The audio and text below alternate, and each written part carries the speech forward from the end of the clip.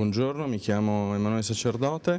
eh, sono stato invitato a questo convegno in quanto ho scritto un libro sul travel retailing eh,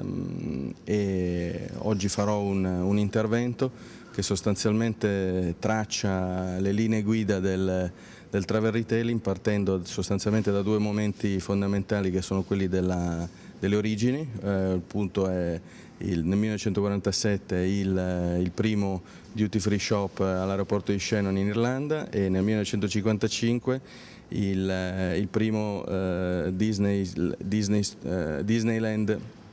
negli Stati Uniti. Dopodiché traccerò un po' di, le, le peculiarità del, del, travel retail eh, rispetto al eh, retail tradizionale tracciando quelle che sono sostanzialmente le principali differenze e peculiarità.